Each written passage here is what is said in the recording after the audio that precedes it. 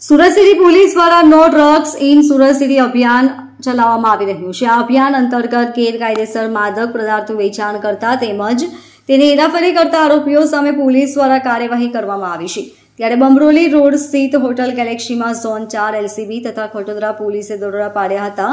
દરોડા દરમિયાન હોટલ ગેલેક્સીમાં રૂમ નંબર ચારમાંથી પેટલર બે પોઈન્ટ સત્તાવન ગ્રામ એમડી ડ્રગ્સ સાથે ઝડપાયો હતો. મળતી માહિતી મુજબ સુરત શહેર પોલીસ દ્વારા સુરત સિટી અભિયાન ચલાવવામાં આવી રહ્યું છે. ઝોન ચાર એલસીબી તથા ખટોદરા પોલીસે બાતમીના આધારે બમરોલી રોડ સ્થિત હોટલ ગેલેક્સીમાં રેડ પાડવામાં આવી હતી. પહેલા માળે રૂમ નંબર ચારમાં પેડલર રોકાયો હતો. એલસીબી તથા ખટોદરા પોલીસે બે પોઈન્ટ સત્તાવન ગ્રામ એન્ટી ડ્રગ્સ સાથે પેડલર દાનિશ હારૂન શેખની ધરપકડ કરી છે. અગાઉ સુરત શહેર ક્રાઇમ બ્રાન્ચ દ્વારા વધુ બે આરોપીઓને ઝડપવામાં આવ્યા છે.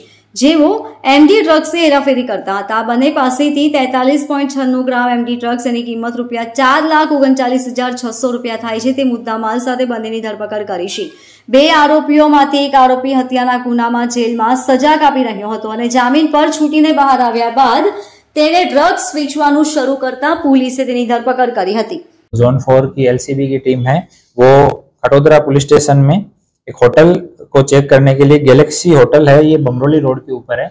इस होटल में सरप्राइज़ चेक करने के लिए गए तो वहाँ पे एक आदमी ही होटल में रुका हुआ था और वो लोकल था तो इसलिए पुलिस को डाउट हुआ तो उन्होंने उसको आ, रूम में से बुला के चेक किया। तो उसके पास में एमडी जो है वो बरामद हुआ दो पॉइंट सत्तावन ग्राम एमडी जिसकी जो कीमत है वो पच्चीस हज़ार सात सौ रुपये है और वो उससे रिकवर किया गया है।